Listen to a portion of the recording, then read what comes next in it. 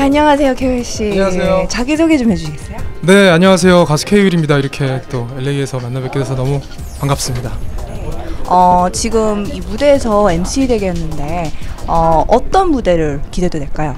어 오늘 제가 꽤 여러 번 무대 쓰게 되는데요 일단 어 지금 애국가를 어, 오늘 공연하는 분들을 대표해서 부르고 내려온 상태고요 어 오늘 또 제가 여러분들께 많이 사랑을 받았던 곡들 또 미국에서도 많은 분들이 알고 계신다고 들었어요 예 그 그간 여러분들께 들려드렸던 제 곡 뭐 따뜻한 곡 또 그리고 슬픈 노래 이렇게 들려드릴 예정이고요 그리고 어, 백지영 선배님과 함께 어, special 무대를 준비하고 있는데 아 아, 그게 혹시 내 귀에 캔디인가요? 아, 네 그렇습니다. 예. 아, 되게 좀 유쾌하게 재밌게 봐주셨으면 좋겠어요. 어, 지금 한국에서는 하루하루가 어떻게 지내세요? 어, 요새 가슴이 뛴다라는 앨범으로 올 봄에 활동을 하고 있는데 많은 분들이 어, 너무나 큰 사랑을 주셔서요. 굉장히 기분 좋고 보람차게 활동을 하고 있고요. 또 하루하루 정신없이 보내다가 이렇게 LA에 와서 또 높은 하늘 보고 네. 하니까 굉장히 기분 좋은 지금 공연을 하러 왔지만 휴가를 느끼는 것 같은 그런 기분이에요. 예. 미국에서는 어, 제일 좋아하는 외국 음식이 어떤가요? 음식이요? 네, 음식이요.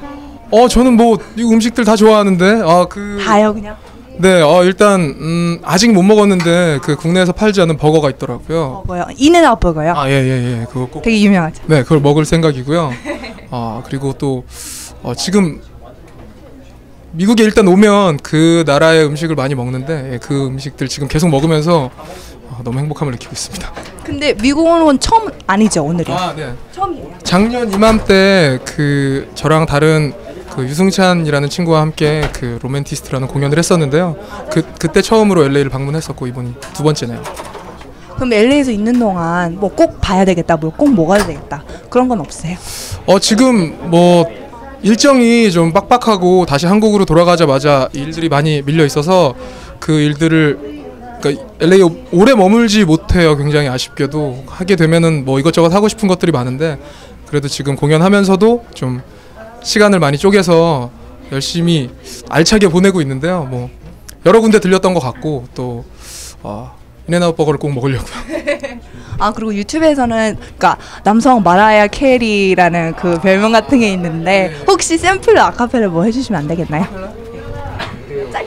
아, 글쎄요, 그 너무 옛날 얘기, 옛날 얘기라 아 쑥스러운. 아니 지금 제일 좋아하는 가수는 없으세요? 미, 미국 가수야? 아 지금요? 어 요새는 그 Far East Movement의 Rocketeer를 많이 듣고 있어요. 와 그렇군요. 에 알겠습니다. 시간 내주셔서 감사합니다. 감사합니다.